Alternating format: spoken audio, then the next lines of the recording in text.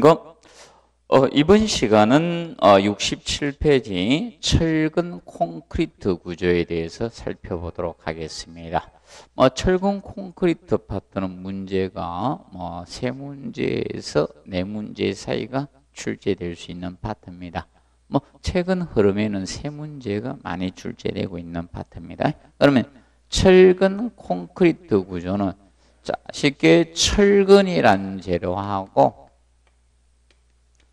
콘크리트 두 가지를 합성해 준 겁니다. 두 가지 재료를 합성해서 만드는 구조가 철근 콘크리트 구조가 됩니다. 그래서 이제 철근 콘크리트 구조를 어, reinforced concrete 그래서 reinforced의 R을 따고 콘크리트 C를 따서 RC 구조라고도 합니다. RC죠. RC 구조 또는 RC죠. 이렇게 표현을 하게 됩니다. 그러면 보통 철근 콘크리트 구조는 자, 이 철근, 철근이 잡아 당기는 힘을 부담하도록 설계하는 겁니다. 그래서 인장력은 철근이 어, 분담하도록 하고 잡아 당기는 힘은 인장력은 철근이 부담하도록 설계하고 콘크리트가 압축력, 누르는 힘을 분담하도록 설계하는 구조가 바로 철근 콘크리트 구조다. 이렇게 보시면 되겠습니다. 자, 그러면 자, 이, 어, 이 개요 부분이 기본적으로 우리가 시험에 뭐 종합 문제가 나오면 책, 어, 거의 자주 언급이 되는 파트가 이 개요 파트라고 이렇게 보시면 되는데 최근에 뭐 자주 언급이 되고 있는 파트다 이렇게 보시면 되겠죠. 그래서 제1절 뭐 개론분의 철골구 개요 부분에서 1번 철근을 짜고 공구의 부분을 일체식으로 구성한 라멘 구조. 바로 라멘이 원래 철근 콘크리트는 의였죠. 그래서 만들어진 구조가 자, 이 철근 콘크리트 구조가 됩니다. 그래서 인장 측은 철근이 부담하고 콘크리트는 압축 측을 부담하도록 설계한 게 기본 원리입니다. 그런데 3번에 철근 성립 이후 부분이 나오죠. 그래서 1번에 선팽창 계수가 철근하고 자 선팽창 계수 또는 뭐 열팽창 계수라고도 합니다.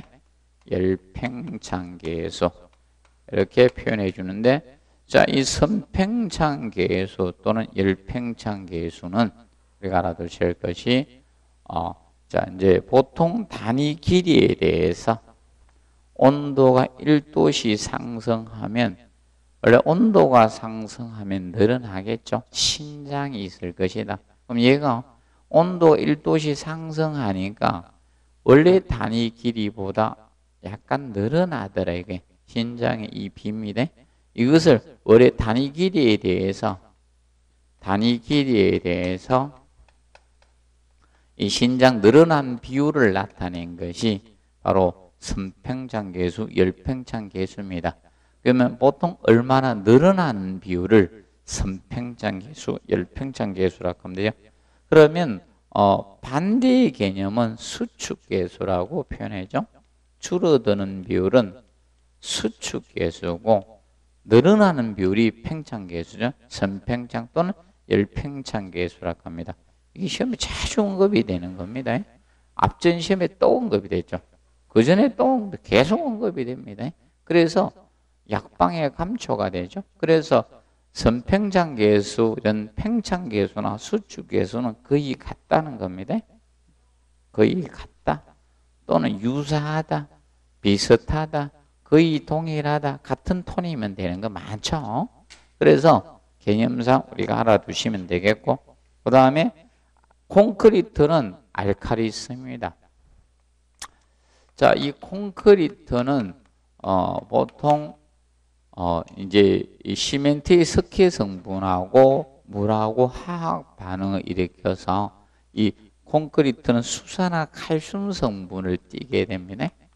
수산화 칼슘 성분이다 초반에는 이 수산화 칼슘 성분이 되는데 콘크리트의 수산화 칼슘 성분입니다. 이것이 어, pH가 12에서 13 정도 사이가 되는 강 알칼리성을 띄고 있습니다. 콘크리트는. 그러면 보통 콘크리트의 pH가 콘크리트 pH가 11 이상 유지가 되면 어, 철근의 부식을 방지를 할 수가 있습니다. 아, 철근의 어, 부식 방지를 할 수가 있습니다. 철근의 부식을 방지할 수 있는데 이것이 우리가 개념상 정리를 해 두시면 되겠습니다.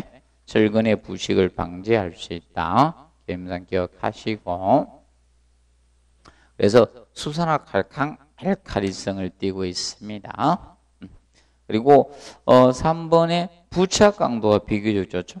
둘이 부착이 되면 거의 떨어지지 않죠. 그래서 일체식 구조가 될 수 있었던 것이고요. 그 다음에 어 나중에 철근의 자구를 방지해서 콘크리트가 자구리랑은 이거죠. 자 하중이 작용됐을 때 굴절 현상이 생길 수 있죠. 자굴이 생길 수 있는데 콘크리트가 옆에 감싸주고 있기 때문에 자굴이 아니죠. 굴절 현상이 생기지 않는 겁니다. 그래서 자굴을 방지해 줄 수가 있는 거죠. 그래서 철근 콘크리트의 철근은 자굴이 안 생기죠. 콘크리트 때문에. 그리고 5번에 콘크리트의 탄성 계수. 자, 이 탄성 계수는 어, 탄성 계수는 어, 보통 이걸 탄성 계수라고 표현합니다. 그래서 보통 이거에 대한 재축 방향의 응력도에 대해서 직각 방향의 변형도를 나타내는 것 이것을 탄성계수라고 합니다. 탄성계수.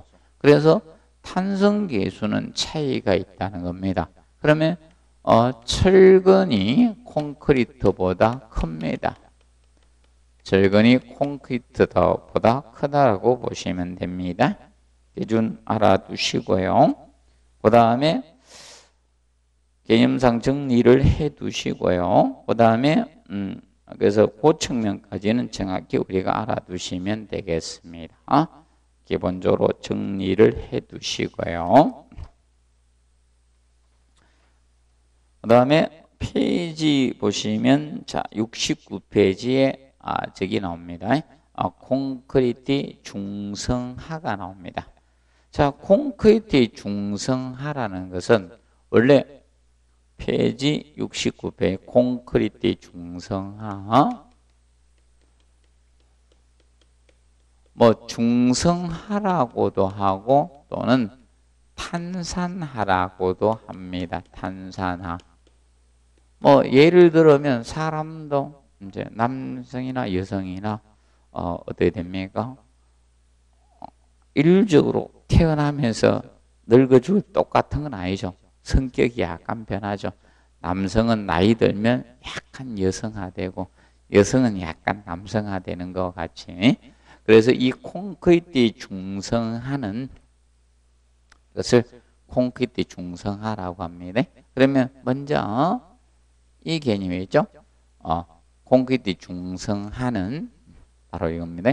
그래서 콘크리트는 원래 pH 자 이겁니다. 수산화 칼슘 성분을 띄고 있어요. 어머 원래 강알칼리성이 되게 콘크리트가 콘크리트가 강알칼리성입니다. pH가 12에서 13 정도 되는 강알칼리성을 띄고 있는데 이때 어, 공기 중에 탄산가스하고 결합을 해서 공기 중에 탄산가스 CO2죠. 이게 약산성이잖아요.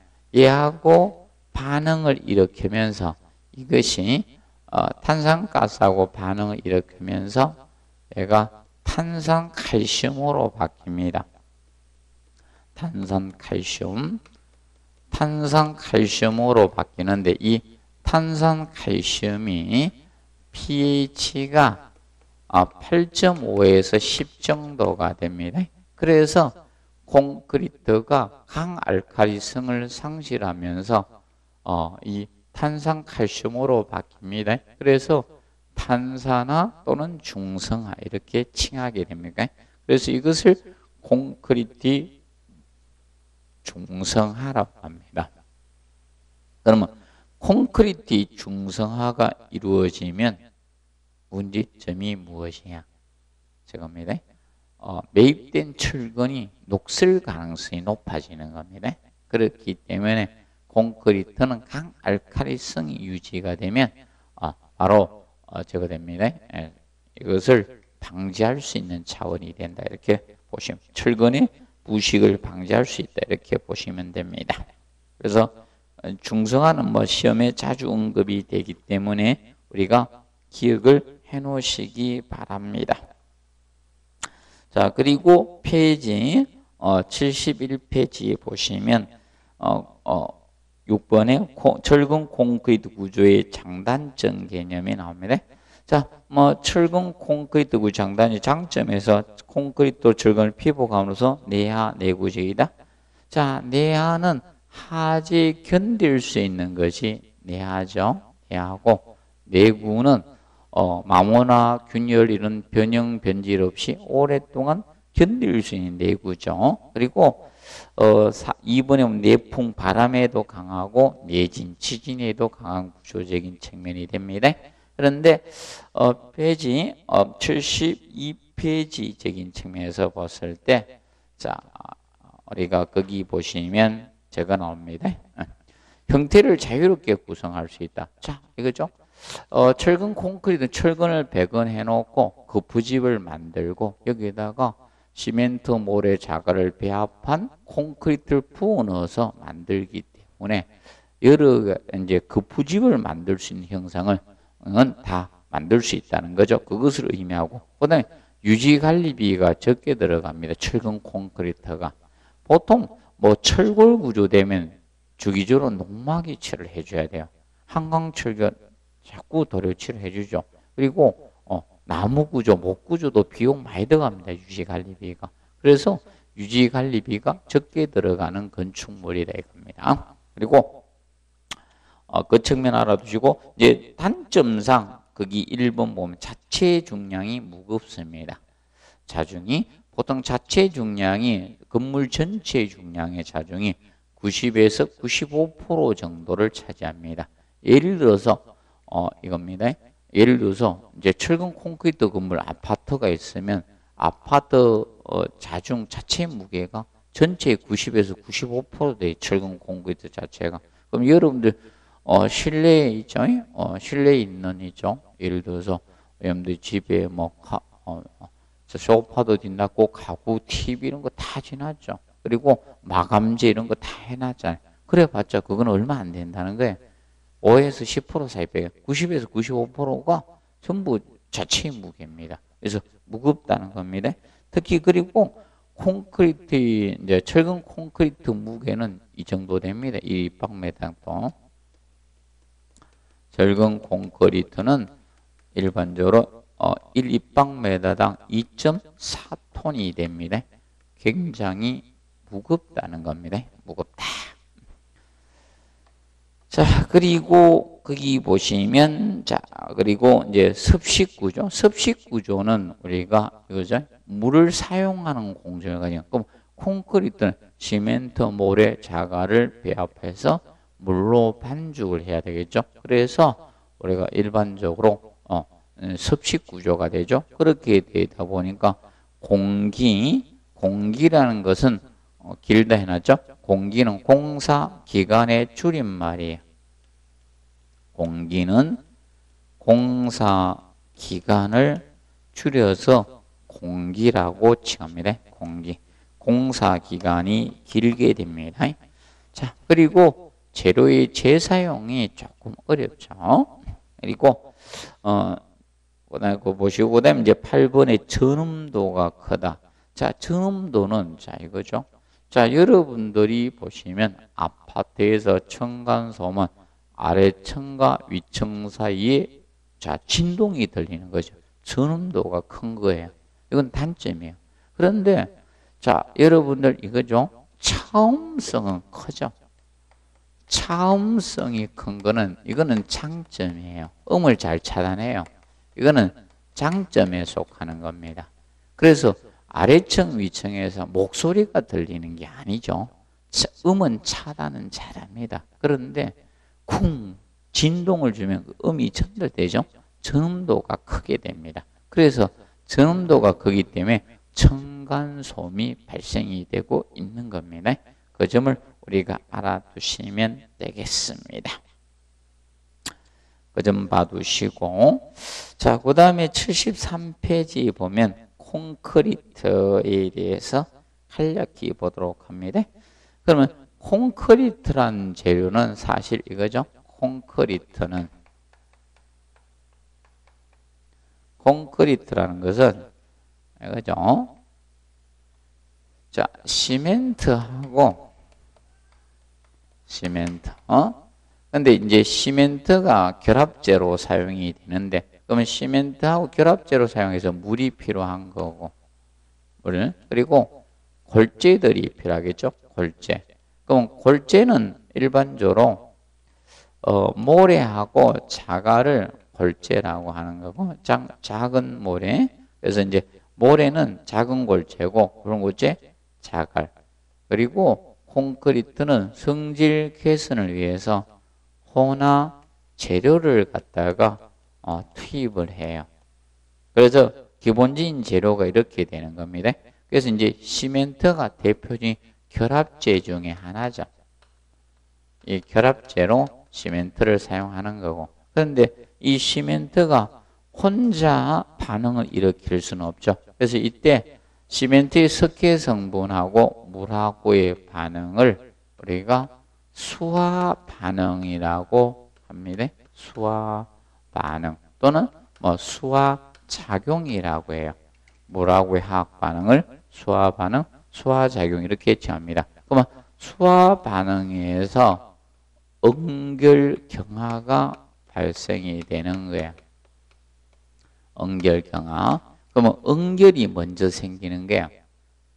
겨우 형상을 갖춰도 응키는 작용이 응결이 응키는 작용 응결이고 굳어지면서 강도가 생기는 게 경화예요. 그럼 응결이 끝나면 뒤에 경화가 생기는 거야. 이게 굳어지면서 강도가 생기는 거야. 굳어지면서 어, 강도가 발생하는 것 이것을 경하라고 표현을 합니다. 경하. 그러면 이때 수화 반응에 반응이 생기면 열이 생기죠. 여기 발생되는 열을 발생하는 열을 수화열이라고 표현을 하는 거예요.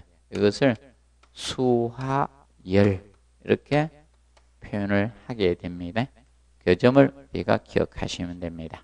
그래서 기본적으로 콘크리트 그리고 이제 골재는 자, 어, 모래가 장골재고 굵은 골재가 자갈이죠. 얘가 장골재. 한문으로 세골재라고도 표현하는 거고 자갈이 굵은 골재 개념이 됩니다. 그리고 혼화 재료는 다른 성질 개선상 뭐 시공 연도를 좋게 하겠다. 겨울에 잘 얼지 않게 해서 뭐 약품이나 재료를 투입하는데 이것을 혼화 재료라고 표현합니다. 그러면 혼화 재료는 뭐 기포를 생기게 하는 약품도 있을 거고 다양한 약품도 있겠죠. 그러면 재료 어, 두 가지 개념에서 혼화재. 자, 재료 어 재료 I자 제자를 쓰는 재료 제자. 재료로 투입하는 개념이 있고요. 재료 제자. 그리고 혼화제, 의자 제자, 약품 제자죠. 이 혼화제. 그래서 이거는 약품으로 투입을 하는 거예요. 약품으로. 그래서 이렇게 해서 이게 콘크리트의 기본적인 재료적인 측면이 됩니다. 간단히 우리가 알아두시고요. 그 측면을 보면 돼. 그리고 어, 페이지 74페이지에서 보시면 그 시멘트 분말도가 예, 해놨죠. 분말도가 크면 시멘트의 가루들은 분말도가 크다는 것은 입자가 미세해진다. 크기가 작아진다는 것을 의미하고 있습니다. 좀 주의를 하시면 돼요. 그래서 보통 분말도가 크다면 어, 시멘트 입자가 커지는 개념이 아니다. 시멘트 분말도가 크다는 것은 시멘트 입자가 아주 미세하다. 아주 가루가 곱다 뜻을 의미한다는 점을 우리가 알아두시면 되겠습니다. 그 점 우리가 정리해 두시고요. 그래서 혼돈하지 않도록 좀 해 두시면 되겠습니다. 자, 그리고 어, 음, 자, 페이지 78페이지에서 보시면 78페이지에 보면 어, 그 콘크리트 배합 개념이 나옵니다. 78페이지에서 콘크리트 배합. 자, 콘크리트 배합적인 측면에서 먼저 1번에 보면 물 결합 제비가 나옵니다. 물 결합 제비. 그리고 어, 2번에는 뒤 넘기고 79페이지는 물 시멘트비가 나오죠. 물 결합제비 또는 물 시멘트비. 자, 그러면 어, 물 결합제비나 물 시멘트 비적인 측면에 대해서 살펴보도록 하겠습니다.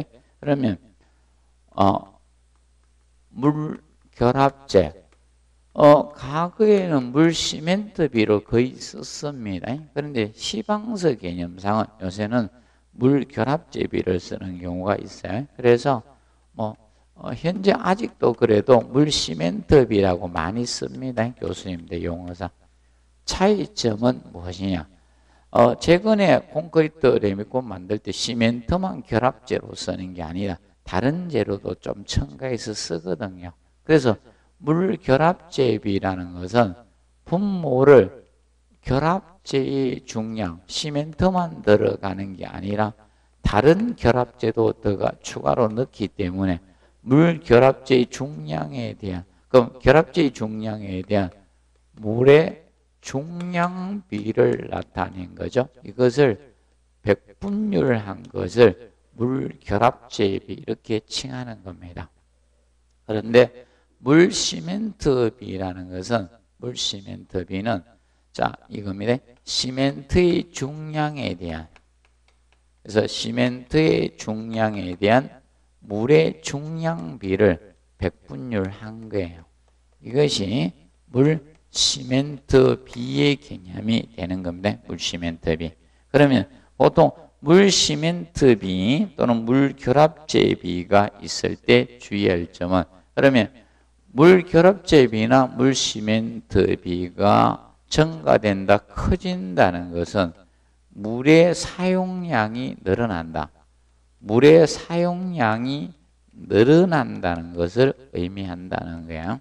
그러면 물 시멘트비, 물 결합제비가 준다는 것은 물의 사용량이 준다는 것을 의미한다는 점을 여러분들이 알아두시면 되겠습니다. 그 개념상 기본적으로 알아두시고요. 그 다음에 어, 슬럼프 시험이 나오죠. 슬럼프 시험. 자, 슬럼프 시험이라는 것은 자, 콘크리트는 사실상 이거죠. 슬럼프 테스트, 슬럼프 시험은 콘크리트는 시멘트 모래 자갈을 배합해서 부어 넣었어요. 부어 넣기 때문에 콘크리트를 부어 넣기 때문에 이때 이 콘크리트에 어, 얼마나 시공이 용이하느냐 시공 연도를 측정하는 시험이 슬럼프 시험이에요. 그래서 이제 이것은 어, 콘크리트의 시공 연도를 시공 연도라는 것은 콘크리트의 작업의 용이성, 시공의 용이성을 나타내는 물건 정도를 우리가 시공연도라 해요. 시공연도를 어, 측정하는 시험이 바로 슬럼프 시험 개념이면 슬럼프 시험 콘크리트 시공 연도를 측정하는 시험을 슬럼프 시험 이렇게 칭하게 됩니다. 슬럼프 시험이 됩니다. 그러면 슬럼프 시험이란 것은 어떻게 측정하는가 하면 어, 슬럼프 cone이 제도 원칙 몰드가 이렇게 있는데 어, 자, 위에가 지름 10cm예요. 밑에가 지름 20cm가 되고 높이가 30cm 됩니다. 30cm가 되는데 이게 손잡이가 이렇게 달려 있어요. 제도. 그래서 이것을 어, 이름은 어, 슬럼프 콘이고 슬럼프 콘이라고 해요. 슬럼프 콘에다가 콘크리트를 3에 나누어 다졌습니다. 그러면 3분의 1 채우고 25에 다지고 3분의 1 25. 그러면 이것을 수직으로 들어 올리면 콘크리트가 이렇게 흘러내리겠죠. 흘러내리면 얼마나 흘러내렸는가 위에서 아래로 측정하는 거예요. 여기에서 흘러내린 값을 측정합니다. 그래서 이것이 얼마만큼 내려왔네 이 센치를 우리가 슬럼프라고도 표현하고요. 또는 어, 슬럼프 치 쓸 수가 있네. 치 또는 값 이렇게 표현할 수 있다. 그래서 최근에 흐름은 슬럼프 이렇게 쓰는 경우가 있어요. 슬럼프 치, 슬럼프 값 이렇게 표현할 수도 있고 이 값을 슬럼프 값입니다. 그러면 콘크리트의 시공 연도를 나타내는 값이 슬럼프예요. 슬럼프 치론 값이라고 하고 그걸 측정하는 시험이 슬럼프 시험이라고 표현합니다. 그러면 슬럼프 값이 커진다는 것은 어, 묽은 비빔을 의미한다. 이렇게 보시면 되겠습니다. 그래서 그 79페이지 보시면 나오죠. 그래서 하단에 보시면 그 박스가 그건데 철근 콘크리트 일반 슬럼프 값은 80에서 100. 그럼 최대치가 150mm다. 그러면 여기에서 어, 밀리미터 단위죠. 그래서 철근 콘크리트의 슬럼프 값은 어, 기본적으로 일반 철근 콘크리트는 150mm 이하가 돼야 된다 이거죠. 일반 철근 콘크리트의 슬럼프 값은 슬럼프 값은 150mm 어, 이하다 이게 기본적으로 보통 콘크리트에서는 이걸로 나타나겠다 이겁니다. 간단히 개념상 알아두시면 되겠습니다. 그 측면을 봐두시고 그리고 페이지 80페이지 보시면 음, 그래서 시공연도 해가 나오죠. 시공 연도라는 것은 강도 크고 내구성 콘크리트 안전한 콘크리트 만들 수 있는 어, 묽은 정도 해놨죠. 그럼 시공의 용이성을 나타내는 콘크리트의 묽은 정도가 바로 시공 연도예요. 얼마나 콘크리트가 반죽시 묽으냐 이것을 시공 연도 이렇게 표현을 하는 겁니다. 그런데 시공 연도에 영향을 미치는 요인이 하나죠. 그러면 여기에서 이제 용어상 단위 수량이 나오겠죠. 단위 수량. 단위 수량이라는 것은 단위라는 것은 콘크리트의 단위를 의미하고 있는 겁니다. 콘크리트의 단위를 이야기하고 있는 거예요. 그럼 숫자는 물 숫자의 개념이 된 거예요. 물 숫자. 그러면 단위 수량은 콘크리트 1세제곱미터 단위 수량이라고 하는 것은 자, 이 콘크리트, 콘크리트 1세제곱미터 비빔할 때, 비빔할 때, 어, 사용되는 물의 양이죠. 사용되는 물의 양을, 물의 양을 단위 수량이라고 표현을 하는 거예요. 단위 수량. 그러면 단위 시멘트량. 자, 이거죠? 단위 시멘트량. 그러면 어, 그때 사용된 시멘트의 양이 되는 거죠. 콘크리트 1셈 비움할 때 사용되는 시멘트의 양이에요. 시멘트의 사용량이죠. 이게 단위 시멘트량이 되는 거예요. 단위 수량이다. 단위 시멘트량이다. 그래서 앞으로 단위 수량, 단위 시멘트량이 나오면 이것을 의미하고 있다는 겁니다. 그 점을 우리가 알아두시면 되겠습니다. 기준 알아두시고요. 그래서 용어를 모르면 힘들어요. 단위 수량이 무엇을 의미하느냐. 그래서 단위 수량이 뭔지 이렇게 모르면 어, 이해가 안 되는 겁니다. 그래서 그럼 어, 그럼 물의 양이나 시멘트의 양이 많아지면 우리가 어, 시공 연도는 좋아지죠. 잘 들어가는 거예요. 그래서 모르시면 이걸 기억하면 돼요. 어, 이 입자 입자 크기가 이 작은 작은 재료의 사용량을 어, 늘리게 되면 이것을 증가하면 시공 연도는 좋아지는 거예요. 입자의 시공 연도는 좋아지는 거예요. 작업은 용이해지는 겁니다. 그래서 우리도 어 이제 식사하실 때 아프실 때 작은 걸 드셔야지 잘 들어가죠. 큰 걸 먹으면 잘 안 들어가죠. 그래서 시공 연도는 간단히 입자가 작은 재료의 사용량을 증가하면 시공연도는 좋아진다. 이렇게 보시면 되겠습니다. 그 측면을 우리가 정리해 두시면 되겠습니다. 기억을 해 두시고 그리고 뭐 이제 저 파트에 대해서 좀 살펴보도록 하겠습니다. 아, 그리고 몇 페이지를 자 보시는가 하면 어, 철근 파트에 대해서 보도록 하겠습니다. 페이지 철근하기에 앞서서 어, 저 성질과 관련된 거 몇 가지 보도록 하겠습니다. 그래서 페이지 96페이지 자 페이지 96을 보시면 콘크리트의 성질 개념이 나옵니다. 먼저 1번에 bleeding 개념이 나오죠. bleeding. 자, bleeding이란 것은 어, 수분 상승 현상이다. 이렇게 보시면 돼. 수분 상승 현상. 블리딩 현상. 그러면 콘크리트에 비빔할 때 물을 많이 첨가를 합니다. 물을 많이 첨가하게 되면 자, 이때 어, 이거죠? 물을 너무 많이 써서 또는 부적합한 뭐 골재 사용했거나 이물질 많이 포함된 골재 썼거나 이런 경우에 자 이렇게 이제 묵은 것이 밑에 깔아앉는 거에 침강하면서 침강 깔아 앉으면서 가벼운 건 위로 어, 그래서 이제 이때 어, 물하고 이물질이 가벼운 이물질이 위로 상승하는 거예요.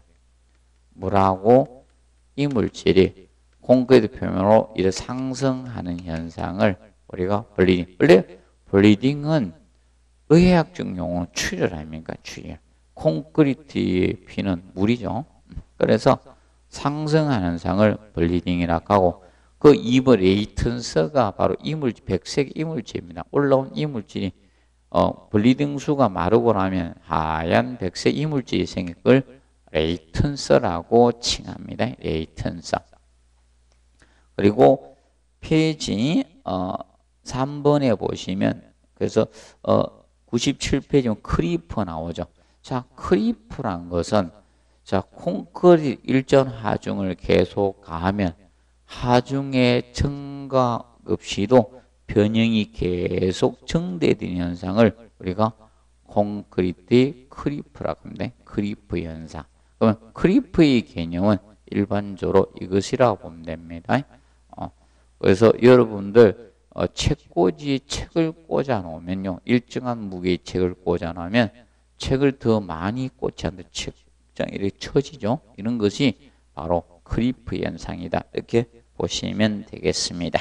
그리고 4번의 건조 수축이죠.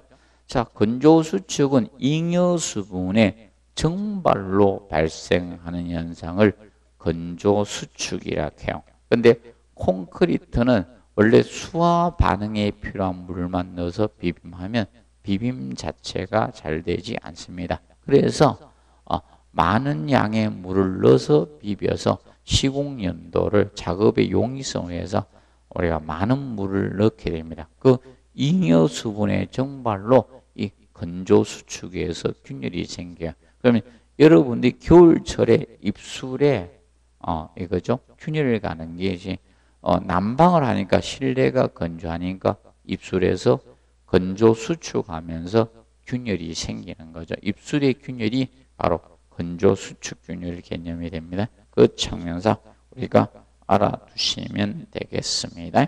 그리고 뭐 세부적인 것은 뭐 기본 과정에서 우리가 다루도록 하겠습니다.